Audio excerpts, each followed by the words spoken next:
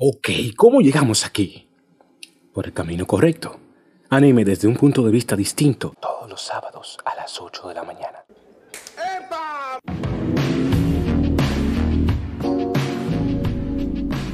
Máquina programable capaz de manipular objetos y realizar diversas operaciones.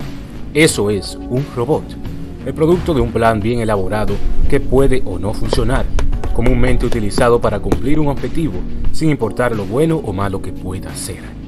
La presencia de estos sujetos puede suponer tres cosas. 1. Busca ayudar a la humanidad. 2. Quiere acabar con la ya mencionada, pero no hay dudas de que la tercera es la más inusual. Es nada más y nada menos que hacer las dos cosas. Un humano busca lo imposible, busca la perfección en el ambiente que le sea posible. Sin embargo, es irónico que una máquina que roza la perfección en cualquier momento aprecie cosas simples pero importantes, cosas que nos hacen vivir. Así que relájense, acomódense, pero no se duerman, porque hoy serán testigos de un personaje icónico, brutal, pero sobre todo irrepetible. Kojiro presenta al número 16, el androide que amó a la Tierra.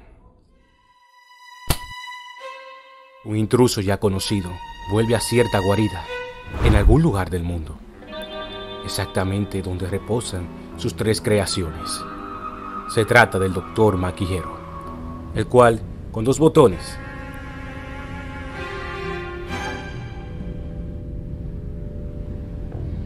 firma su sentencia de muerte. Es hora de levantarse.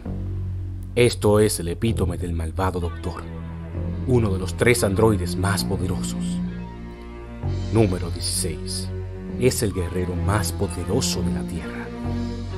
El rival de número 18 está sufriendo, lo que provoca a sus compañeros. Número 17 le ofrece compartir la pelea y para sorpresa de todos, el protagonista del día de hoy rechaza la oferta. La pelea se extiende, pero número 16 no tiene la necesidad de ayudar por dos razones. Razón número 1.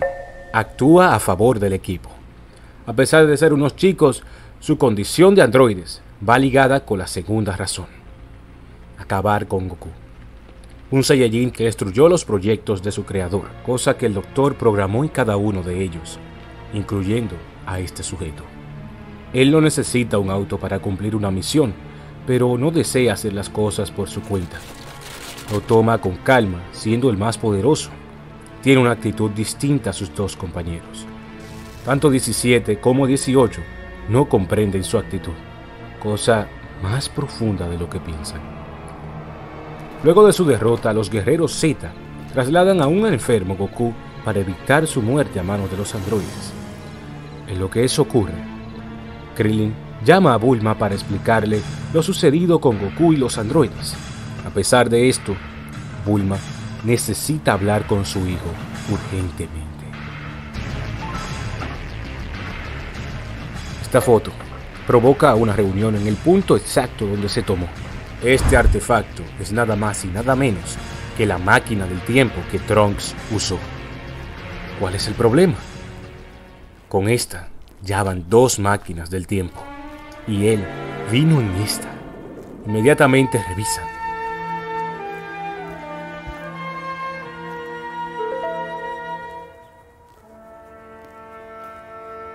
Esto no era de esperarse. Y mientras el asombro continúa, Gohan se lleva del presentimiento para conocer a su futuro enemigo. O mejor dicho, una parte de él. Aquel huevo que encontraron en la máquina del tiempo albergó a una criatura que según la crisálida salió recientemente y según la máquina llegó hace cuatro años, un año antes de la llegada de Trunks, situación que empeora al ver a Kamisama asustado, pues a pesar de ser el dios de la tierra, desconoce la ubicación de la criatura que salió de ese caparazón.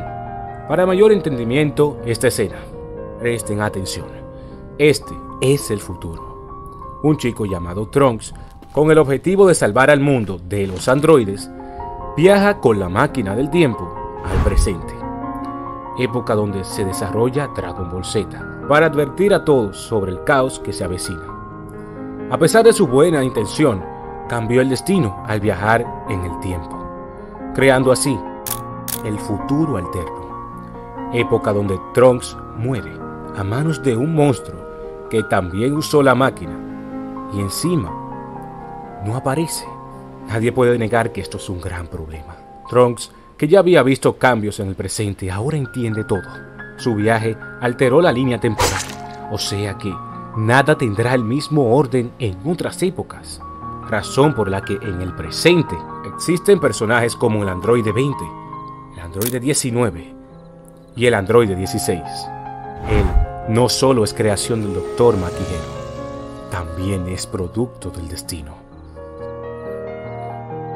Un día después, los guerreros Z que acompañaron a Trunks y Gohan se hospedan en Kame House, a la espera de cuatro guerreros, Goku, Vegeta, Gohan y Trunks, que se disponen a entrenar en la habitación del tiempo, aunque esta espera tendrá una visita. Las preguntas sobre la ubicación de Goku no se hicieron esperar. Las respuestas tampoco. Piccolo está a punto, o mejor dicho, a segundos de comenzar su última gran pelea. Y no es hasta este momento que nosotros tenemos bien en claro que ya nada es como antes. Nadie puede negar que el destino ha cambiado. Esto no podía ser posible al igual que la existencia del número 16. Hablando de él, no puede creer lo que está ocurriendo. Ese no es el ki de Piccolo. Y está en lo correcto. Basta con ser poderoso si se quiere combatir. Basta que un Namekusein se fusione con otro para ser imparable, como lo muestra esta batalla. Nadie puede negarlo. Nada es como antes. Así como la energía de Piccolo, que se va consumiendo en el momento que más lo necesita. Y si creen que lo digo por el androide número 17, nada más alejado de la realidad.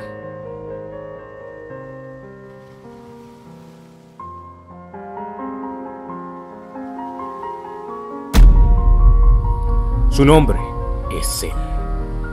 Y es el cuarto producto del cambio en la línea del tiempo. Y claro que sí, es la creación definitiva del Doctor Maquijero. Monstruo capaz de absorber a las personas, habilidad que si bien puede usar con todos, fue otorgada para completar su cuerpo. Solo debe absorber a dos androides. Tiene al igual que otros un objetivo, acabar con todo el universo, tal como lo programó el Doctor y tal como lo demostró con su primera víctima.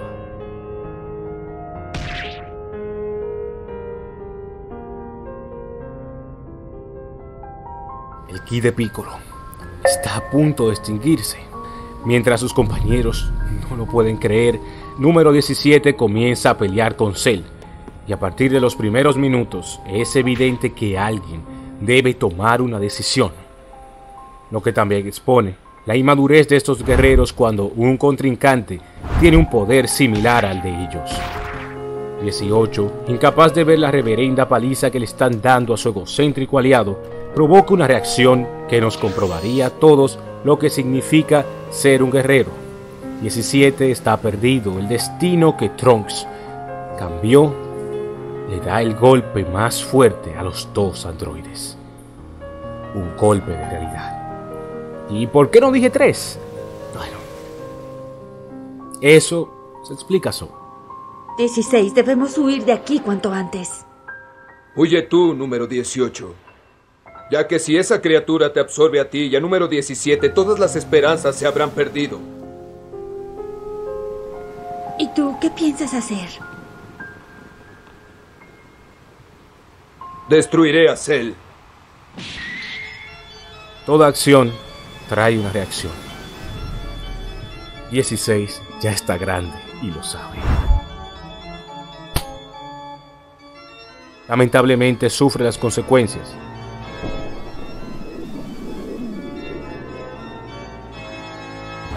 Pero este androide no está para jugar.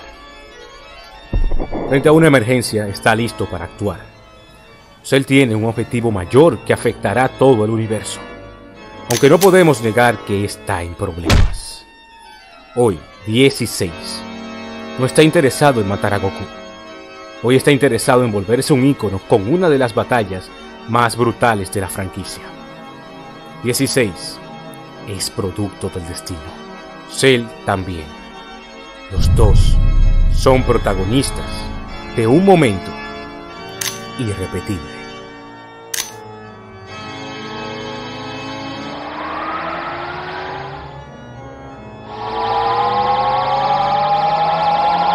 Claro que sí. Nos vemos el sábado que viene. ¡Brazos